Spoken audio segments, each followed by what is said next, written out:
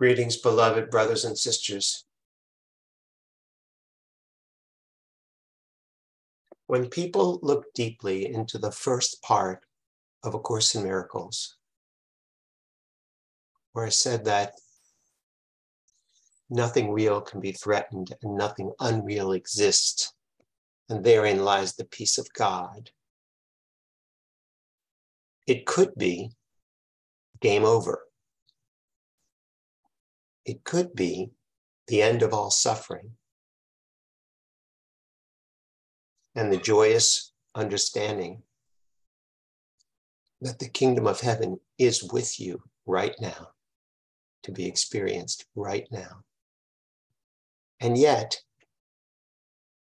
intellectually understanding that, even with the appeal that it has and the relief that you get, that none of your fears are real, doesn't quite do it. People do not read that sentence or even read A Course in Miracles and then find themselves in bliss, walking around, emissaries of the light. And you may wonder, why doesn't that happen? Why aren't we happy all the time if that's our true state? The answer is because of free will. Because you have free will, you are free to create the illusion of separation as long as you wish to cling to it.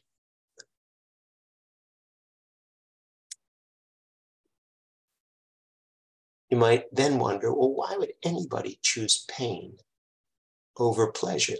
Why would they choose that kind of suffering? As you go deeper, you realize that it's based on beliefs. When you really believe you're separate, just like a little child, when their parents get divorced, they believe it's their fault, no matter what the parents say. Maybe if I hadn't fought with my siblings so much, maybe we'd still be together. Maybe if I would have cleaned up my room and not annoyed them so much, maybe mommy and daddy would. It doesn't matter what assurances the parents give the child. Almost always, the children blame themselves for what they perceive as the separation.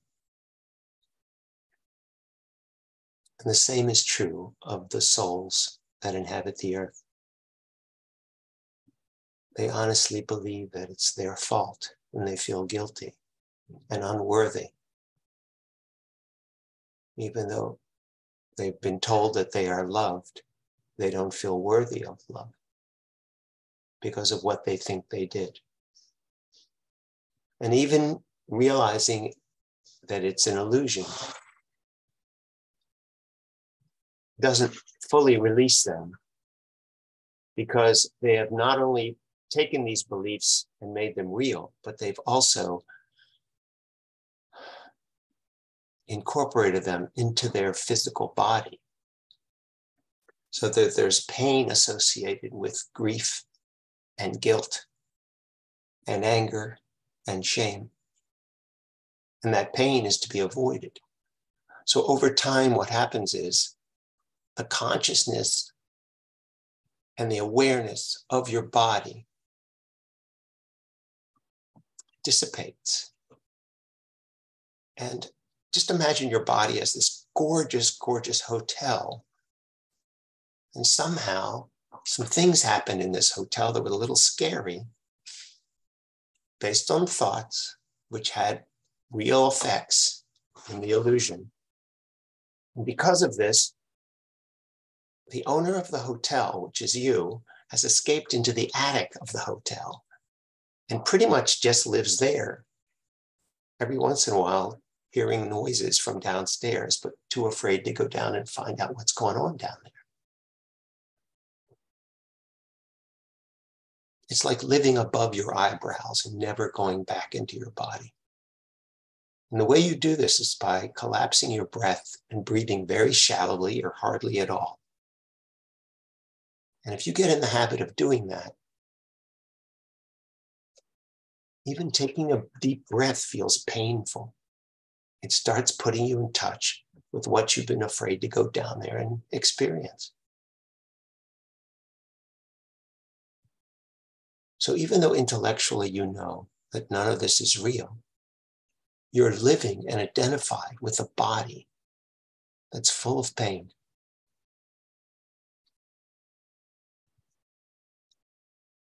And what it requires is a lot of courage. You have to have the courage to let yourself breathe deeply and deal with what comes up, even though you know it's an illusion. Breathe into your discomfort lovingly. Ask for help. Let me help you reclaim this body for God, for spirit, for its intended purpose. Breathe with me. Take in the love of God and let it bring up whatever is uncomfortable and breathe into that too. And forgive that. And then reclaim this body for its intended purpose to be an extension of God's love, to be the expression of joy and happiness on the earth.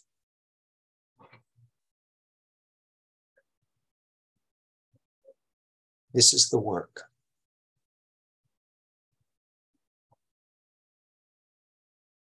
This is why you came.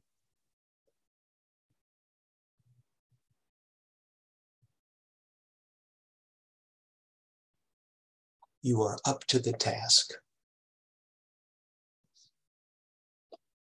And as you become more acquainted with your deeper breath, you'll realize that there's nothing to fear and everything that you can experience with love will open up a wider space in which you can live and in which you can allow the flow of God to move through this body.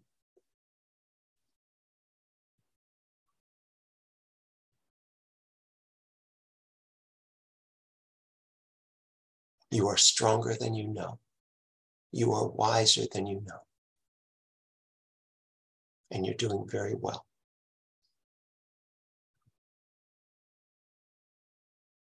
Let yourself accept the love of God through God's breath.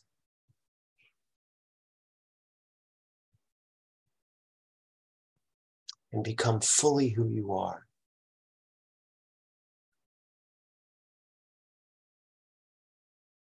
To express your unique purpose on this plane.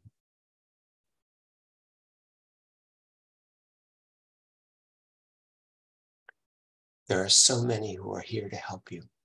Ask for help and keep breathing. I love you very deeply. I'll speak with you again soon.